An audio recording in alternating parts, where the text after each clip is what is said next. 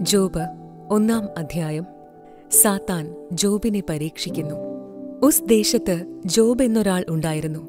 തിന്മയിൽ നിന്നകന്ന് ദൈവഭക്തനായി ജീവിച്ച അവൻ നിഷ്കളങ്കനും നീതിനിഷ്ഠനുമായിരുന്നു.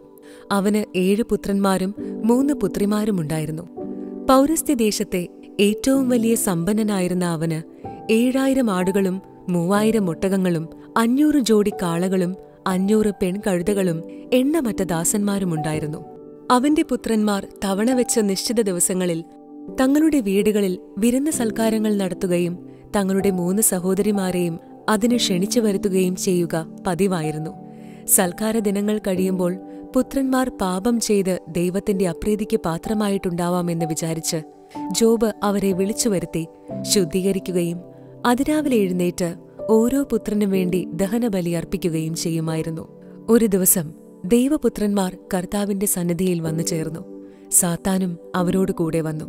കർത്താവ് സാത്താനോട് നീ എവിടെ നിന്ന് വരുന്നു? എന്ന് ചോദിച്ചു. ഞാൻ ഭൂമിയിലാകെ ചുറ്റി സഞ്ചരിച്ചിട്ട് വരികയാണ് എന്നവൻ മറുപടി പറഞ്ഞു. കർത്താവ് വീണ്ടും അവനോട് ചോദിച്ചു എന്റെ ദാസനായ ജോബിനെ നീ ശ്രദ്ധിച്ചോ? അവനെപ്പോലെ സത്യസന്ധനും നിഷ്കളങ്കനും ദൈവത്തെ ഭയപ്പെടുന്നവനും തിന്മയിൽ നിന്നകന്ന് ജീവിക്കുന്നവനുമായി ഭൂമുഖത്ത് ആരെങ്കിലുമുണ്ടോ? സാത്താൻ ചോദിച്ചു ജോബ് ദൈവത്തെ ഭയപ്പെടുന്നത് വെറുതെയാണോ? അങ്ങ് അവനും അവന്റെ ഭവനത്തിനും സമ്പത്തിനും ചുറ്റും വേലി കെട്ടി സുരക്ഷിതത്വം നൽകി. അവന്റെ പ്രവൃത്തികളെ അനുഗ്രഹിച്ചു. അവന്റെ സമ്പത്ത് വർദ്ധിപ്പിക്കുകയും ചെയ്തു. അവന്റെ സമ്പത്തിന്മേൽ കൈവച്ചാൽ അവൻ അങ്ങയെ ദുഷിക്കുന്നത് കാണാം. കർത്താവ് സാത്താനോട് പറഞ്ഞു അവനുള്ള സകലത്തിന്മേലും ഞാൻ നിനക്ക് അധികാരം നൽകുന്നു. എന്നാൽ അവനെ മാത്രം ഉപദ്രവിക്കരുത്. അത് കേട്ട സാത്താൻ കർത്താവിന്റെ സന്നിധിയിൽ നിന്ന് പോയി. ഒരു ദിവസം ജോബിന്റെ മക്കൾ തങ്ങളുടെ മൂത്ത സഹോദരന്റെ വീട്ടിൽ വിരുന്നിന് സമ്മേളിച്ചിരിക്കുകയായിരുന്നു. അപ്പോൾ ഒരു ഭൃത്യൻ ജോബിന്റെ അടുക്കൽ വന്നു പറഞ്ഞു ഞങ്ങൾ കാളകളെ പോട്ടുകയായിരുന്നു. കഴുതകൾ സമീപത്ത് തന്നെ മേഞ്ഞുകൊണ്ടിരുന്നു. പെട്ടെന്ന് ഷേബാക്കാർ വന്ന് വേലക്കാരെ വാളിനിരയാക്കി അവയെ അപഹരിച്ചു കൊണ്ടുപോയി ഞാൻ മാത്രമേ അങ്ങയോട് വിവരം പറയാൻ രക്ഷപ്പെട്ടുള്ളൂ. അവൻ പറഞ്ഞു തീരുന്നതിനു മുൻപ് മറ്റൊരുവൻ വന്നു പറഞ്ഞു ദൈവത്തിന്റെ അഗ്നി ആകാശത്തിൽ നിന്നിറങ്ങി ആടുകളെയും ദാസന്മാരെയും ദഹിപ്പിച്ചു കളഞ്ഞു. വിവരം അങ്ങയോട് പറയാൻ ഞാൻ മാത്രം അവശേഷിച്ചു. അവൻ പറഞ്ഞു തീരും മുൻപ് മറ്റൊരുവൻ വന്നറിയിച്ചു. കൽദായർ മൂന്ന് കൂട്ടമായി വന്ന് വേലക്കാരെ ആക്രമിച്ചു കൊന്നിട്ട് ഒട്ടകങ്ങളെ പിടിച്ചുകൊണ്ടുപോയി. ഇതറിയിക്കാൻ ഞാൻ മാത്രം അവശേഷിച്ചു. അവൻ പറഞ്ഞുകൊണ്ടിരിക്കുമ്പോൾ തന്നെ മറ്റൊരുവൻ കടന്നുവന്ന് പറഞ്ഞു. നിന്റെ പുത്രന്മാരും പുത്രിമാരും തങ്ങളുടെ ജ്യേഷ്ഠ സഹോദരന്റെ വീട്ടിൽ സൽക്കാരത്തിൽ മുഴുകിയിരിക്കുകയായിരുന്നു. പെട്ടെന്ന് മരുഭൂമിയിൽ നിന്ന് വീശിയ കൊടുങ്കാറ്റ് വീടിന്റെ നാലു മൂലയ്ക്ക് മടിച്ചു. അത് തകർന്നു വീണ് അവർ മരിച്ചുപോയി. ഈ വാർത്ത അറിയിക്കാൻ ഞാൻ മാത്രം അവശേഷിച്ചു. ജോബ് എഴുന്നേറ്റ് അങ്കി വലിച്ചു കീറി ശിരസ് മുണ്ടനം ചെയ്തു. സാഷ്ടാംഗം വീണ് നമസ്കരിച്ചു. അവൻ പറഞ്ഞു അമ്മയുടെ ഉദരത്തിൽ നിന്ന് നഗ്നനായി ഞാൻ വന്നു. നഗ്നനായി തന്നെ ഞാൻ പിൻവാങ്ങും. കർത്താവ് തന്നു കർത്താവ് എടുത്തു. കർത്താവിന്റെ നാമം മഹത്വപ്പെടട്ടെ. ഇതുകൊണ്ടൊന്നും ജോബ് പാപം ചെയ്യുകയോ ദൈവത്തെ പഴിക്കുകയോ ചെയ്തില്ല. ജോബ് രണ്ടാം അധ്യായം. ദൈവപുത്രന്മാർ വീണ്ടും ഒരു ദിവസം കർത്തൃസന്നിധിയിൽ ചെന്നു. സാത്താനും അവരോടൊപ്പമെത്തി കർത്താവ് സാത്താനോട് ചോദിച്ചു നീ എവിടെ നിന്ന് വരുന്നു? ഞാൻ ഭൂമിയിലാകെ ചുറ്റി സഞ്ചരിച്ചിട്ട് വരികയാണ് അവൻ പറഞ്ഞു. കർത്താവ് അവനോട് വീണ്ടും ചോദിച്ചു എന്റെ ദാസനായ ജോബിനെ നീ ശ്രദ്ധിച്ചോ? അവനെപ്പോലെ നിഷ്കളങ്കനും നീതിനിഷ്ഠനും തിന്മയിൽ നിന്നകന്ന് ജീവിക്കുന്നവനുമായി മറ്റാരെങ്കിലും ഭൂമുഖത്തുണ്ടോ? അകാരണമായി അവനെ നശിപ്പിക്കാൻ നീ എന്നെ സമ്മതിപ്പിച്ചെങ്കിലും അവന്റെ വിശ്വസ്തത അചഞ്ചലമായി നിൽക്കുന്നു. സാത്താൻ പറഞ്ഞു ചർമ്മത്തിനു പകരം ചർമ്മം. ജീവനു വേണ്ടി തനിക്കുള്ളതെന്തും മനുഷ്യൻ ഉപേക്ഷിക്കും. അങ്ങ് അവന്റെ അസ്ഥയിലും മാംസത്തിലും കൈവയ്ക്കുക. അപ്പോൾ അവൻ അങ്ങയെ ദുഷിക്കും. ഇതാ അവനെ നിനക്ക് വിട്ടുതരുന്നു. അവന്റെ ജീവനിൽ മാത്രം കൈവയ്ക്കരുത്. കർത്താവ് സാത്താനോട് പറഞ്ഞു. സാത്താൻ കർത്താവിന്റെ സന്നിധിയിൽ നിന്ന് പോയി. അവൻ ജോബിന്റെ ശരീരത്തെ അടിമുതൽ മുടിവരെ വ്രണങ്ങൾ കൊണ്ട് നിറച്ചു. ജോബ് ചാരത്തിലിരുന്ന് ഓട്ടുകഷണം കൊണ്ട് ശരീരം ചുരുണ്ടിക്കൊണ്ടിരുന്നു. അപ്പോൾ അവന്റെ ഭാര്യ പറഞ്ഞു ഇനിയും ദൈവഭക്തിയിൽ ഉറച്ചു നിൽക്കുന്നോ. ദൈവത്തെ ശപിച്ചിട്ട് മരിക്കുക. ജോബ് ഭാര്യയോട് പറഞ്ഞു ഭോഷത്വം പറയുന്നു. ദൈവകരങ്ങളിൽ നിന്ന് നന്മ സ്വീകരിച്ച നാം തിന്മ സ്വീകരിക്കാൻ മടിക്കുകയോ ഇക്കാര്യങ്ങളിലൊന്നിലും ജോബ് നാവുകൊണ്ട് പാപം ചെയ്തില്ല. മൂന്ന് സ്നേഹിതന്മാർ. ജോബിന് സംഭവിച്ച അനർത്ഥങ്ങളെക്കുറിച്ചറിഞ്ഞ മൂന്ന് സ്നേഹിതന്മാർ. തേമാനിനായ എലിഫാസ് ഷൂഹ്യനായ ബിൽദാദ് നാമാത്യനായ സോഫാർ ഒരുമിച്ച് അവനോട് സഹതാപം കാണിക്കാനും അവനെ ആശ്വസിപ്പിക്കാനും അവിടെയെത്തി ദൂരെ വെച്ച് കണ്ടപ്പോൾ അവർ അവനെ തിരിച്ചറിഞ്ഞില്ല. അവർ ഉറക്കെ നിലവിളിച്ചു. വസ്ത്രം കീറി ശിരസിൽ പൂഴി വാരി വിതറി. അവന്റെ പീഡകൾ അതികഠിനമെന്ന് കണ്ട് ഒരക്ഷരം സംസാരിക്കാനാവാതെ ഏഴു രാവും പകലും അവർ അവനോടൊപ്പം നിലത്തിരുന്നു. ജോബ് മൂന്നാം അധ്യായം ജോബിന്റെ പരാതി. അതിനുശേഷം ജോബ് സംസാരിച്ചു.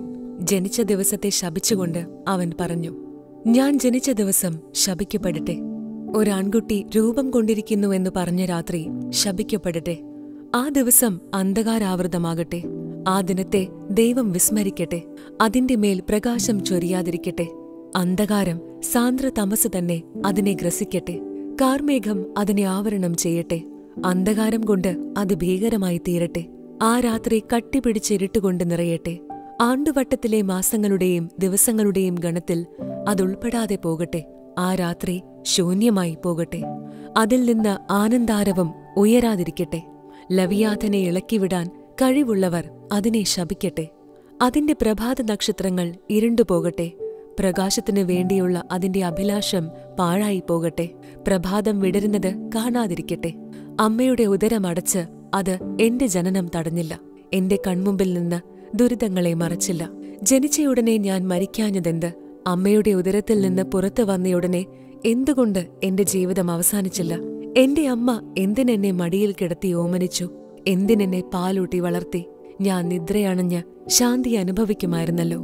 നഷ്ടനഗരങ്ങൾ പുനരുദ്ധരിച്ച രാജാക്കന്മാരെയും അവരുടെ ഉപദേഷ്ടാക്കളെയും പോലെ തങ്ങളുടെ കൊട്ടാരങ്ങൾ സ്വർണവും വെള്ളിയും കൊണ്ട് നിറച്ച പ്രഭുക്കന്മാരെ പോലെ ഞാൻ ശാന്തനായി ശയിക്കുമായിരുന്നല്ലോ. പ്രകാശം നുകരാൻ ഇടകിട്ടാതെ മാതൃഗർഭത്തിൽ വെച്ച് മരിച്ച ശിശുക്കളുടെ ഗണത്തിൽ ഞാൻ ഉൾപ്പെടാഞ്ഞതെന്തുകൊണ്ട്?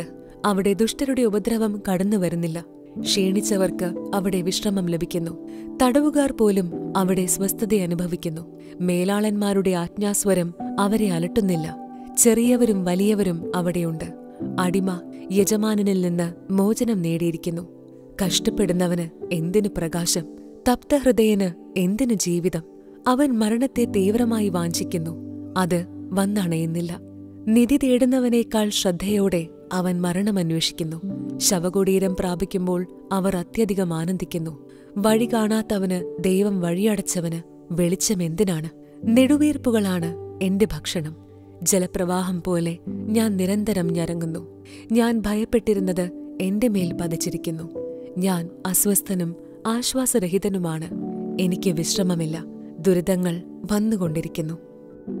ജോബ് നാലാം അധ്യായം. എലിഫാസിന്റെ പ്രഭാഷണം. തേമാനിനായ എലിഫാസ് ചോദിച്ചു സംസാരിച്ചാൽ നിനക്ക് അഹിതമായി തോന്നുമോ? എങ്കിലും മൗനം അവലംബിക്കാൻ ആർക്ക് കഴിയും? നീ അനേകരെ ഉപദേശിച്ചിട്ടുണ്ട് ദുർബലകരങ്ങളെ ശക്തിപ്പെടുത്തിയിട്ടുണ്ട്. കാലിടറിയവരെ നിന്റെ വാക്കുകൾ താങ്ങി നിർത്തി. ദുർബല പാദങ്ങൾക്ക് നീ കരുത്തു പകർന്നു. നിനക്കിത് സംഭവിച്ചപ്പോൾ നിന്റെ ക്ഷമ കെട്ടുപോയി. അത് നിന്നെ സ്പർശിച്ചപ്പോൾ നീ സംഭ്രാന്തനായി തീർന്നു നിന്റെ ദൈവഭക്തി നിനക്ക് ബലം പകരുന്നില്ലേ? നിഷ്കളങ്കത നിനക്ക് പ്രത്യാശ നൽകുന്നില്ലേ? ചിന്തിച്ചു നോക്കൂ. നിഷ്കളങ്കൻ എന്തെങ്കിലും നാശമടഞ്ഞിട്ടുണ്ടോ? നീതിനിഷ്ഠൻ വിച്ഛേദിക്കപ്പെട്ടിട്ടുണ്ടോ? അനീതി ഒഴുത തിന്മ വിതയ്ക്കുന്നവൻ അതുതന്നെ കൊയ്യുന്നതാണ് ഞാൻ കണ്ടിട്ടുള്ളത്. ദൈവത്തിന്റെ വിശ്വാസത്തിൽ അവർ നശിക്കുന്നു. ദൈവത്തിന്റെ കോപാഗ്നിയിൽ അവർ ദഹിക്കുന്നു. സിംഹത്തിന്റെ അലർച്ചയും ക്രൂരസിംഹത്തിന്റെ ഗർജനവും യുവസിംഹങ്ങളുടെ ദംഷ്ട്രകളും അറ്റുപോയിരിക്കുന്നു. ശക്തനായ സിംഹം ഇരകിട്ടാതെ നശിക്കുന്നു. സിംഹിയുടെ കുട്ടികൾ ചിതറിക്കപ്പെടുന്നു. ഒരു രഹസ്യവചനം ഞാൻ ശ്രവിച്ചു. അതിന്റെ നിമന്ത്രണം എന്റെ കാതിൽ പതിച്ചു. മനുഷ്യർ ഗാഠനിദ്രയിൽ അമരുന്ന നേരത്ത് ഈ നിശാദർശനങ്ങൾ ഉണർത്തുന്ന ചിന്ത എന്നിൽ ഭീതിയും ഞടുക്കവും ഉളവാക്കി. എന്റെ അസ്ഥികൾ പ്രകമ്പനം കൊണ്ടു. ഒരാത്മാവ് എന്റെ മുഖം ഉരുമിക്കടന്നുപോയി ഞാൻ രോമാഞ്ചം കൊണ്ടു. അത് നിശ്ചലമായി നിന്നെങ്കിലും അതിന്റെ രൂപം എനിക്ക് അവ്യക്തമായിരുന്നു.